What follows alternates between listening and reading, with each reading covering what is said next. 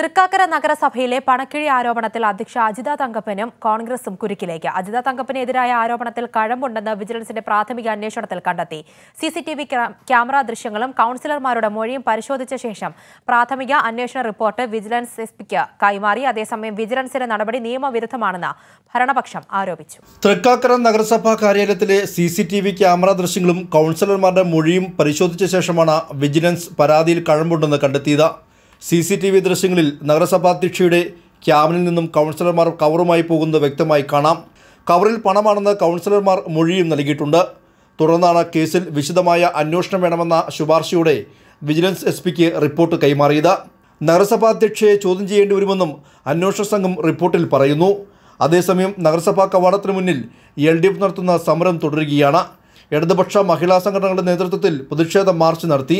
ജനാധിപത്യ കേരള കോൺഗ്രസും അജിത തങ്കപ്പന്റെ രാജി ആവശ്യപ്പെട്ട് പ്രതിഷേധ മാർച്ച് സംഘടിപ്പിച്ചു. തെളിവുകൾ നശിപ്പിക്കാനുള്ള ശ്രമമാണ് നഗരസഭാ അധ്യക്ഷ നടത്തുന്നതെന്നും പണത്തിന്റെ ഉറവിടം കണ്ടെത്തണമെന്നും പ്രതിപക്ഷം ആവശ്യപ്പെട്ടു. ചെയർപേഴ്സൺ മനഃപൂർവം മുറി തുറന്നു കൊടുക്കാത്തതാണ് കാരണം വിജിലൻസ് വന്ന് പരിശോധിക്കുമെന്ന് ഉറപ്പുള്ളത് കൊണ്ട് ചെയർപേഴ്സൺ ഇങ്ങോട്ട് ഈ പരിസരത്തേക്ക് തന്നെ കടന്നു വരുന്നില്ല. അഥവാ അതിന്റെ ഉള്ളിൽ ബന്ധപ്പെട്ട തെളിവുകളുണ്ട് എന്നുള്ളതിന്റെ ഉറച്ച വിശ്വാസത്തിലാണ് ഞങ്ങൾ.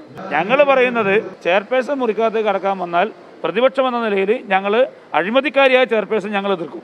അതേസമയം വിജിലൻസിന്റെ നടപടി നിയമവിരുദ്ധമാണെന്ന നിലപാടിലാണ് ഭരണപക്ഷം. വിജിലൻസിനെ ഉപയോഗിച്ച് ഭരണം അട്ടിമറിക്കാൻ ശ്രമിക്കുകയാണെന്നും നിയമ നടപടി ആലോചിക്കുമെന്നും ഭരണപക്ഷ കൗൺസിലർ ഷാജി വാഴക്കാല പറഞ്ഞു. അധ്യക്ഷ പുറത്തു പോകുമ്പോൾ ക്യാബിൻ പൂട്ടുന്നത് സ്വാഭാവിക നടപടി മാത്രമാണെന്നായിരുന്നു ഭരണപക്ഷത്തിന്റെ വിശദീകരണം. ഒരു മുനിസിപ്പൽ കൗൺസിലിനകത്തേക്ക് അല്ലെങ്കിൽ ഒരു മുനിസിപ്പാലിറ്റിയിലേക്ക് കടന്നു വരുമ്പോൾ ഒരു സെർച്ച് വാറണ്ട് നിർബന്ധം. അതാണ് നിയമം. അതില്ല എന്ന് തന്നെയാണ് ഞങ്ങൾ മനസ്സിലാക്കുന്നത്.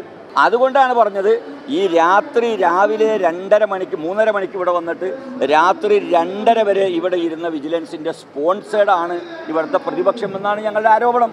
ഏറെ വിവാദമായ പണക്കിഴി ആരോപണത്തിൽ തെളിവുണ്ടെന്ന് വിജിലൻസ് കണ്ടെത്തിയതോടെ നഗരസഭാ അധ്യക്ഷയ്ക്ക് ക്ലീൻ ചിറ്റ് നൽകിയ കോൺഗ്രസും പ്രതിരോധത്തിലായിരിക്കുകയാണ്.